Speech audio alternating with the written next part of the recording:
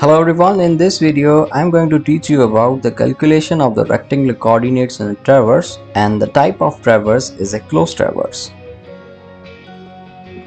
For example, if we have been given with the different lines that are being shown here, like five lines have been given, the lengths and bearings are also being given. Now let's show these lines with the help of a sketch. Let's say that this is the start point of the traverse. Starting from that point, we have AB line with the given bearing, BC line, CD line, DE line, and EA line. The point of differentiation between the open traverse and a closed traverse is that in closed traverse, the starting point and the ending point is same. Like here, the starting point is A and also the ending point is A.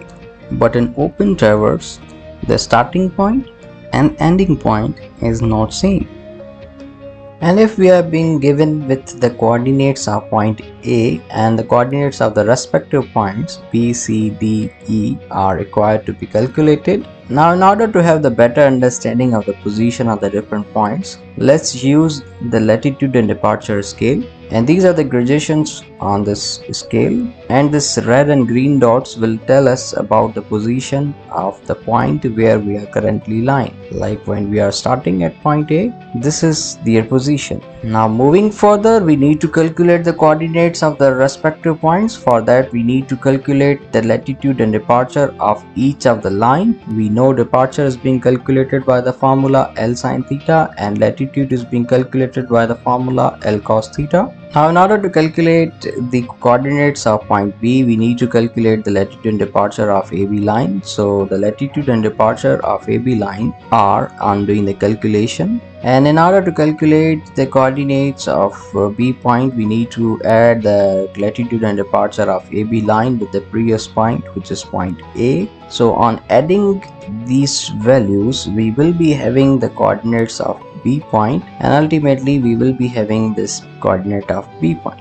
And the same can be shown with the help of this scale by the movement of these green and red dots. Now let's move on to calculate the coordinates of point C. For that we need to calculate the departure and latitude of BC line and these are the departure and latitudes. So adding with the previous one we will be having the coordinates of point C. On completing the process we will be having the coordinates of point C and same can be shown on this latitude and departure scale Moving further for the calculation of the coordinates for the D point, we need to calculate the latitude and departure for CD line and on doing the calculation we will be having these departure and latitude of CD line. Adding with the previous one we will be having the coordinates of D and the same can be shown on this latitude and departure scale as well. Now we are left with the last point which is E point. For that we need to calculate the latitude and departure of DE line. So on doing the calculation we will be having this departure and latitude of DE line and it will be added with point D in order to calculate the coordinates of E point. On doing the calculation we will be having ultimately the coordinates of E point. The same can be shown with the help of the latitude and departure scale as well. Now we have calculated the coordinates of all unknown points now still we can move further because this is a closed traverse so we can move further to EA line so length and bearing of EA line is given with the help of which we can calculate the departure and latitude. So on doing calculation, we will be having the departure and latitude of EA line. Since the unknown coordinates are now being calculated. There is no use of uh, calculating the departure and latitude but there is still one use is there. If we add the latitude and departure of EA line with the coordinates of uh, E point then adding them together we will be having the value which is quite known to us. That is 300 and 100 and if you recall uh, this is the coordinate of point A. It means we started at point A and we came back to point A.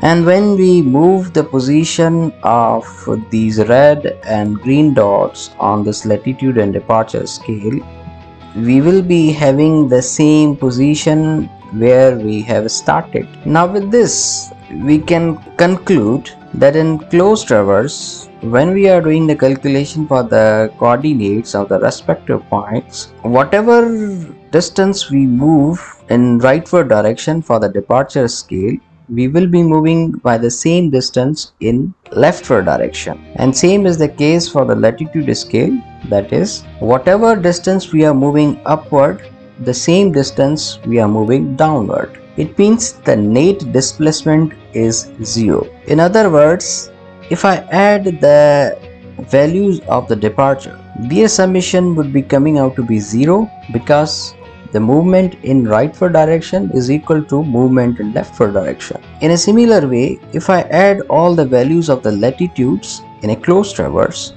their summation will also be coming out to be 0 because whatever movement is being done upward, the same movement is done downward. So while doing the calculation of the coordinates in a closed traverse, we have two checks available.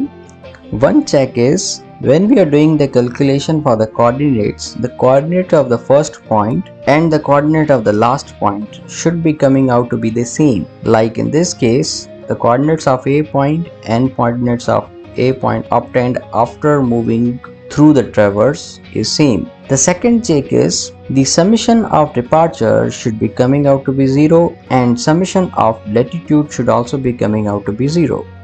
Therefore, you can say your calculation is 100% correct if you have calculated the coordinates of a point at the end same as that of the previous one and if you have got summation of departure and summation of latitudes equal to 0 so this is a kind of check available for the calculation of the coordinates in a closed traverse. But this kind of check was not available in the calculation of coordinates when we are doing for the open traverse. So this is only the difference between the calculation of the rectangle coordinates in a open traverse and the calculation of rectangle coordinates in a closed traverse. So this is all from this video. I hope you have now got the concept of calculating the rectangle coordinates in an open as well as in a closed traverse so this is all from this video. Thank you for watching this video